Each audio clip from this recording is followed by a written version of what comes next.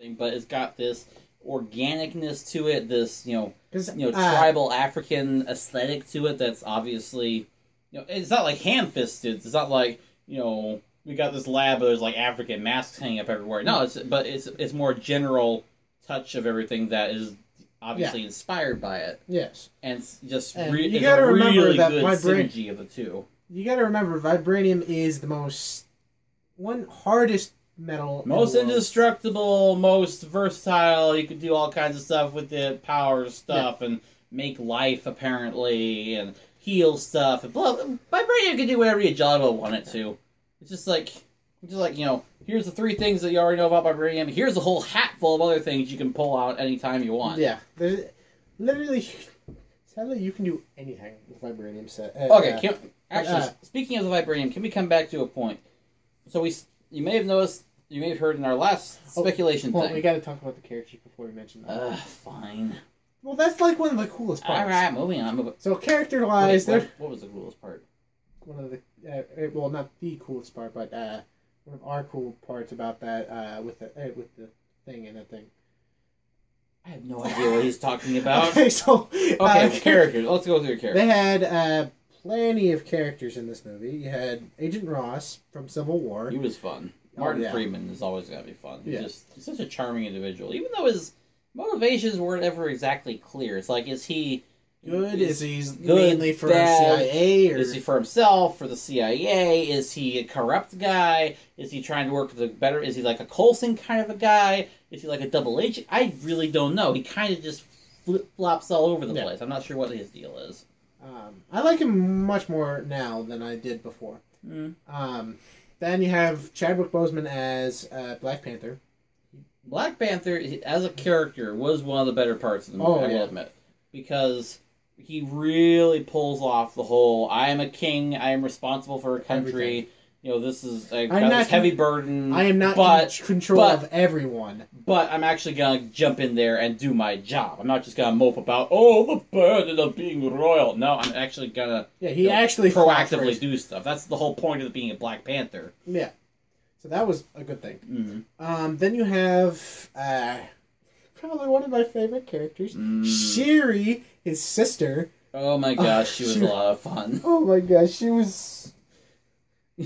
They could not have done her better. Yeah, she Um, just from the get go. You know, she she beginning she's- scene, she comes in. You are automatically gonna like her. Mhm. Um, the starting scene is Black Panther's getting back from that mission that we mentioned earlier, uh, him finding his ex and Yeah. bringing her back to Wakanda. And Then you got his mom and his Sister. sister and bodyguard lady, whatever she's supposed to be. Uh, the sergeant or something sergeant or something like that. She's the leader of The lady with dressed in red with a spear, except hers Is her gold. shoulder is gold. That's the only way you can tell her apart from the other ones. I'm sorry. pretty much, uh, except that one scene when she had to put put on a wig. Well, yeah, but, But, uh, anyway, But his sister yeah, she's just sitting there in, in her shorts and a t-shirt, just be like making jokes. She's like, uh, "I'm gonna show. I've got some updated stuff for you. I'm gonna show you it."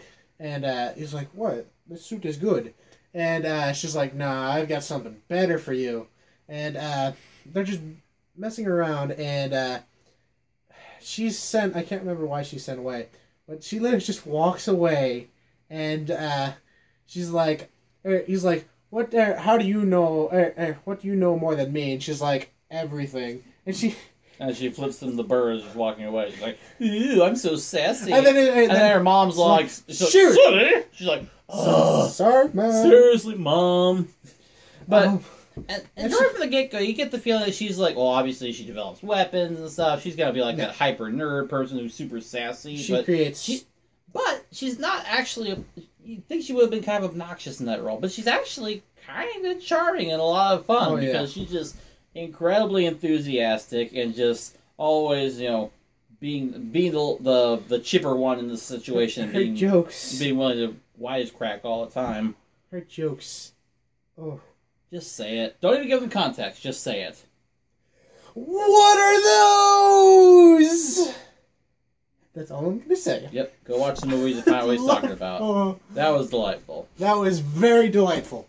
They're Uh, called sneakers because you know you you would. You, They're, they're Never quiet. mind. They're- yeah. Oh, she made the perfect jokes at the right time. She was she, She was, was just a lot of fun. She was wonderful. Uh, definitely, other than Black Panther, she's definitely my favorite from that movie. Yeah, yeah. Um, Um, bodyguard lady is I can't remember her name. yeah. The lady made- red with the spear, but she has the gold shoulder pads. She's She didn't make that much of an impact. She was a There's main not a lot character. to say about her, other than she's captain of the guard or whatever. She is the, uh, one of the main characters. She just kind of does her thing, and she, She doesn't really have a story play other than she's loyal to T'Challa, to to the T'Challa, throne, the throne. Uh, she will serve T'Challa. She But really, she could have been literally any person, and it wouldn't have really mattered. yeah, because it it doesn't mean like she was a bad actress or anything Oh, like that. It's just it was fine. it's It's just her role in the, The story was, was- not. There wasn't a lot there. they could they definitely could have done much better with that. Yeah, you. Um, Um, who else was there? there was his ex ex girlfriend. Um, She didn't really leave much of an impact with me either. again, I cannot remember her name. I'm gonna get Because she's- shoot because- up in the comments. Because it's like right at the beginning, you know, he has to go get her for the coronation and all that, and you know, bada bing, bada boom, you're my ex girlfriend, and there's like sort of some witty love banter She's a between spy uh, them. Mhm. and all that. It's But again, she's kind of forgettable.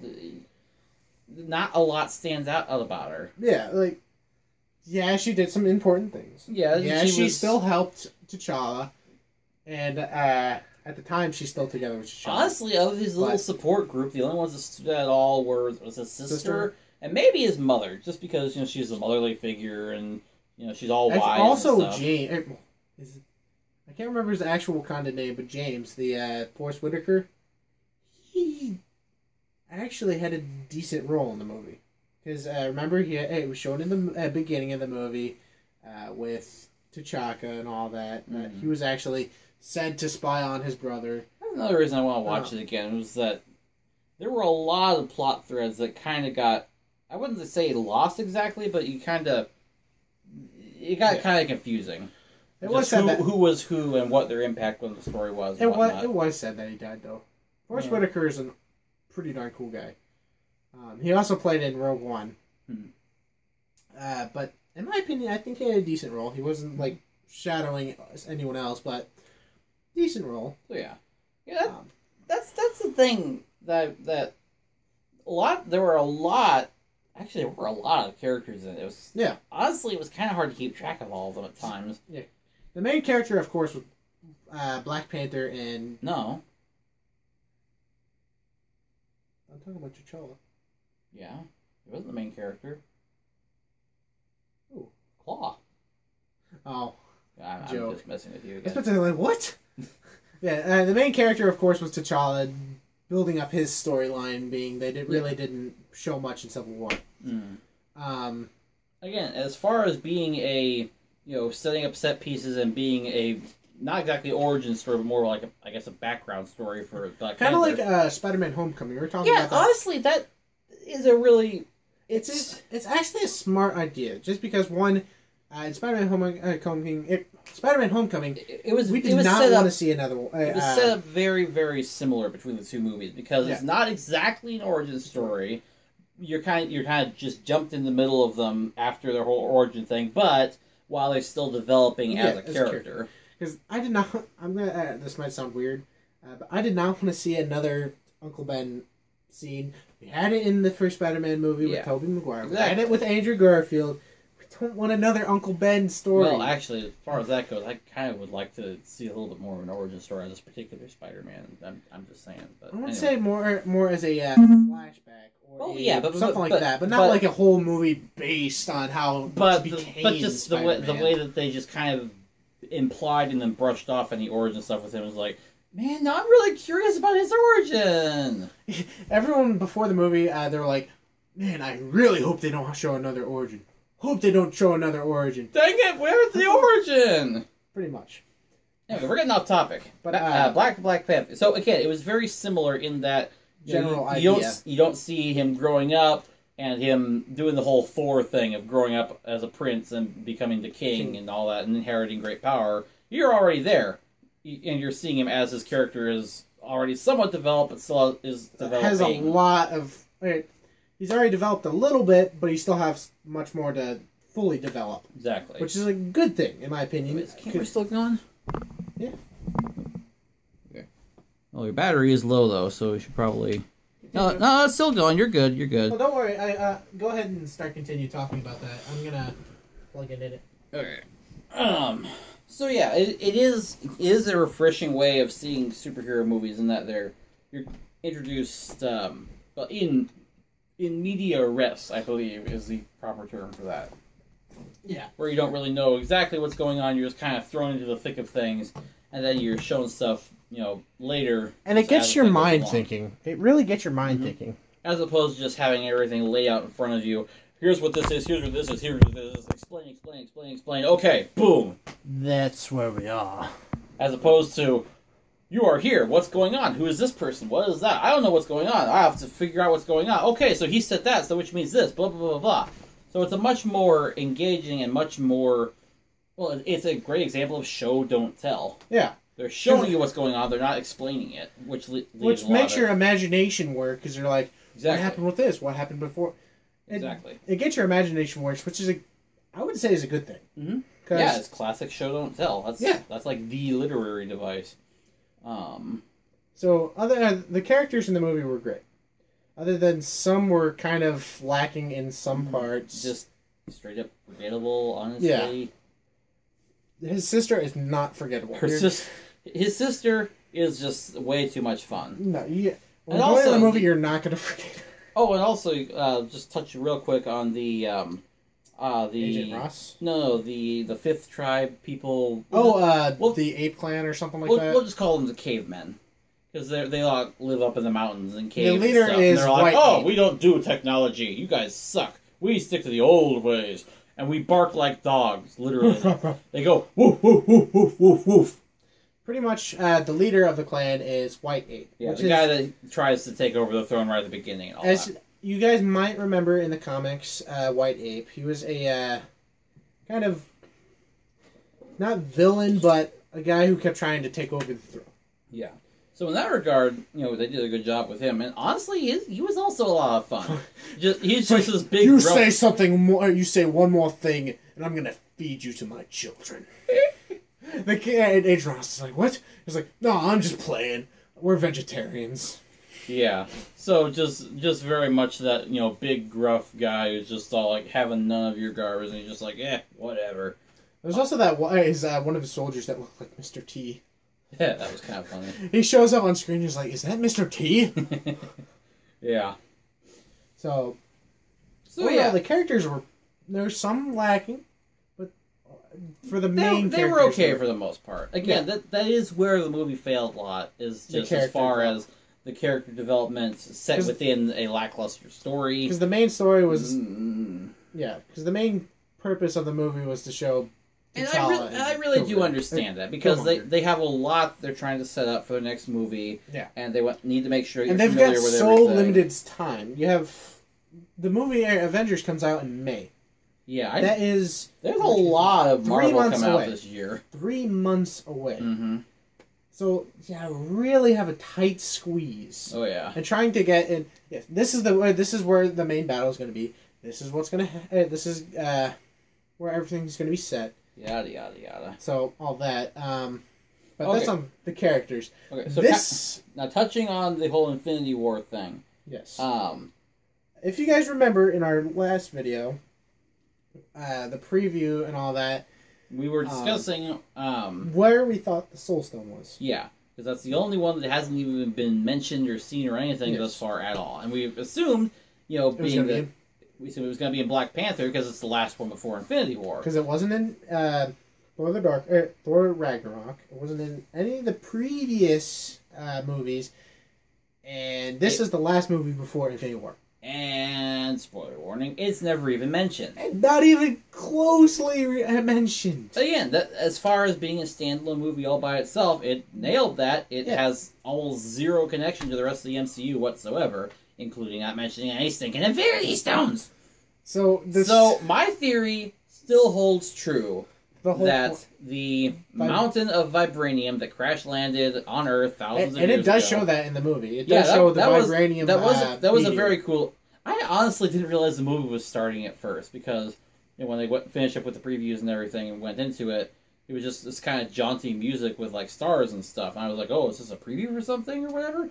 And you know, heard a voice, you know, saying, "Tell me the story of our people." And it's still all chipper and like stuff. It's like, wait, what's going? Wait, is this a, wait, whoa, put on my glasses. This is the movie. I saw you like you had it up in your eye, uh, on your head, and you're like, oh, I was, expect- I was expecting more previews. What the heck, man? Um, so the original, th- well, his original theory that we mentioned in the last one that uh, the Soul Stone is actually encased in the vibranium. The Mhm. vibranium is a shell. Being Mhm. it is the smartest thing, one of the most uh, probably one of the most powerful things in the world, uh, most indestructible things in the universe. Yeah. Yeah. and casing it in another uh, indestructible thing. Mhm.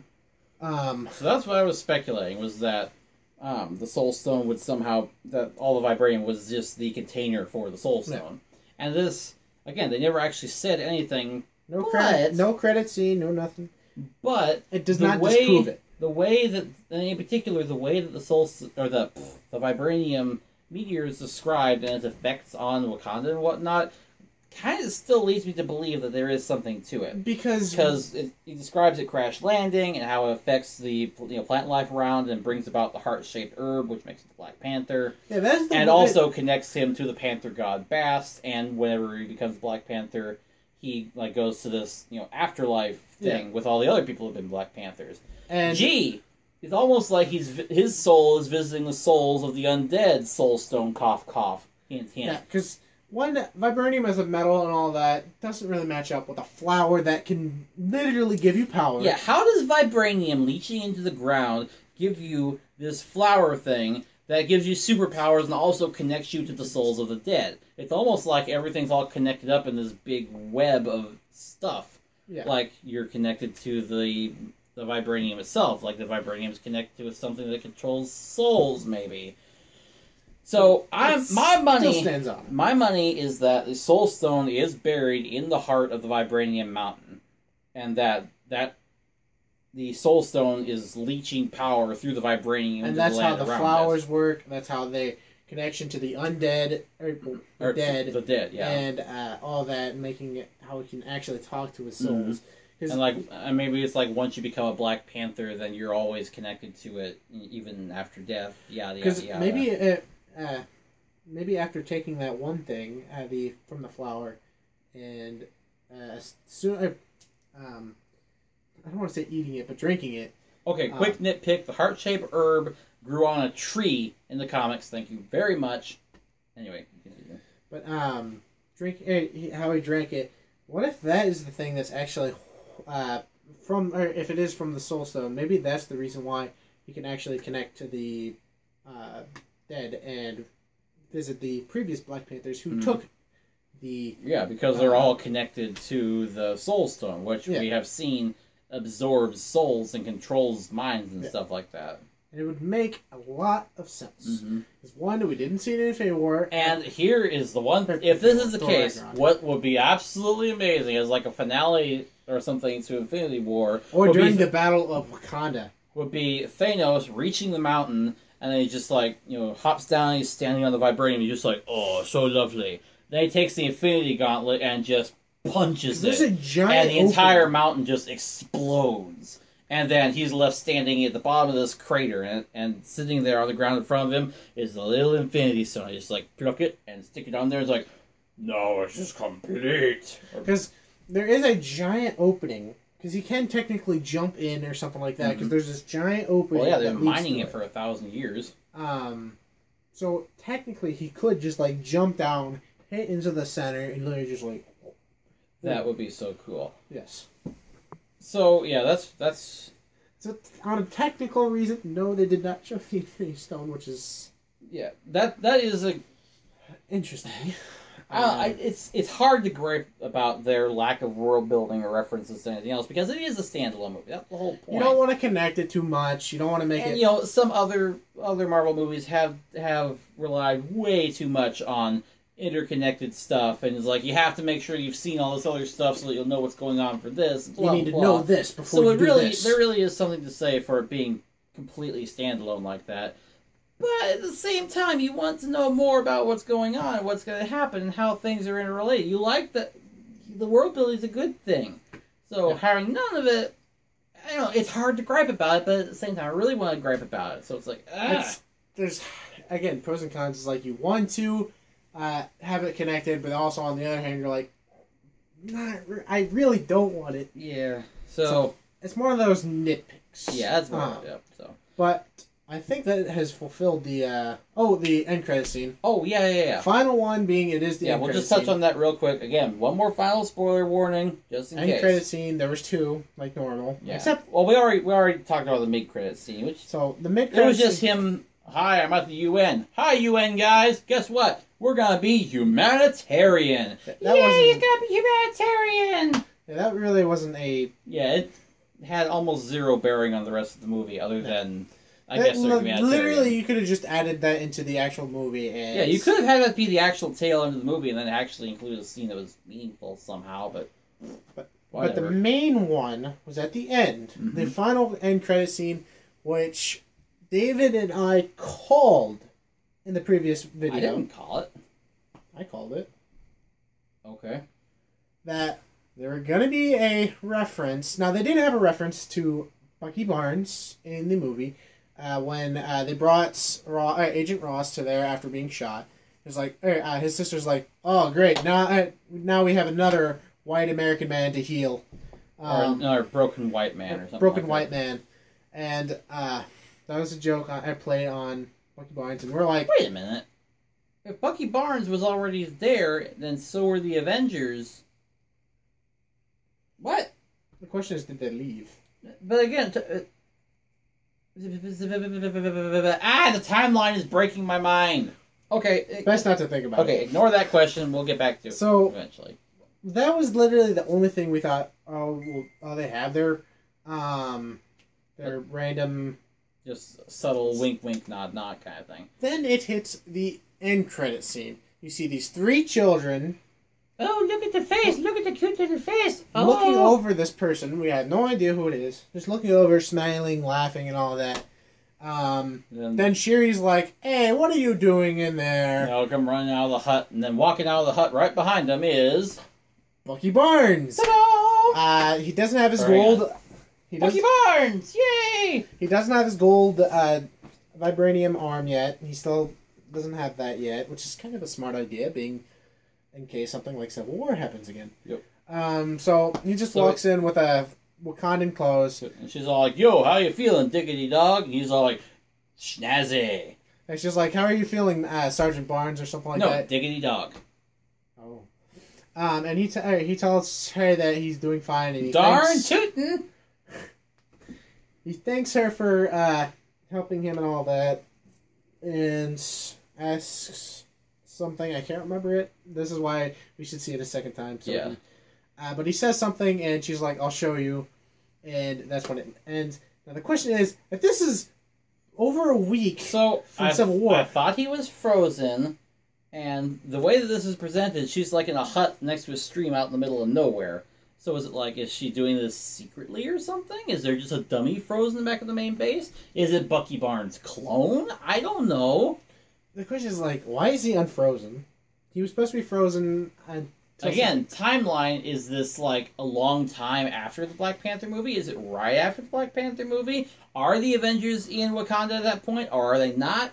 It's ah. after Doctor Strange, I love that movie, but after Doctor Strange, timeline kind of disappeared. Um, So yes, we had the Bucky Barnes cameo, but it didn't really answer any questions or they just really they, it literally just asks more questions like, like why is he unfrozen? Why is he there? Where is he? Um, is he in Wakanda or is he in that new place? It's just like it's dreadfully it asks more questions than it answers them. So yeah, so It did show the Bucky Barnes cameo, which is a I don't want to say good thing, but an okay thing because we haven't seen him since Civil War. But it just asks more questions. It's like it's so very confusing. But so overall, our thoughts on the movie. What would you say? again, six and a half out of ten. I think that vi- visually stunning, the art style, the yada yada yada, all was great. Story was kind of crap. Characters sometimes good, oftentimes forgettable. It's about half and half. Um, the message not bad, but ham-fisted uh, to the way point where it got kind of distracting. Um, So, again, like every But- movie, there's pros and there's cons. although, as far as world building and set piece building for the next movie, probably really good. Yeah, it's definitely gonna make. They had to do this before Infinity War just because one, they had It's- to. Get a despite it, it. despite it being you know a standalone Black Panther movie, it is kind of a filler movie before Infinity War comes out. So Yeah. there is that. Like, what, what are you gonna do about it? yeah, Uh, but overall, would you recommend it to a uh, to a person to I see? would say so. Yes, there's enough good about it that And- I would want to see it again, and I would recommend it to somebody else. No, same here. I would definitely recommend it to a friend. Aiden's going to be seeing it Saturday, same as Braden. Um, so I'm excited for them to see it. I want to see how they think. I'm not going to spoil anything. The only thing I told Aiden because he was like, "How was Black Panther?" All I typed in was capital letter or all caps.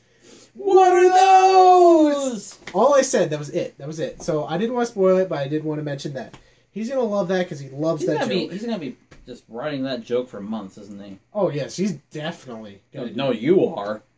Oh yeah, I'm gonna be doing You it. just as got well. uh, next 4-H meeting. It's just like we got, What are those? Those uh, are my crocs. What? no context. That's the whole point. No, that was a meme joke. This What? guy is- like, goes up to his grandma and is like, "What are those?" And then she's like, "These are my crocs." Yeah, I was playing on a joke on that one, Okay, I but I think that's gonna be it for this review. I think so. Overall, great movie. Recommend it. it one, maybe one and a half thumbs thumbs up.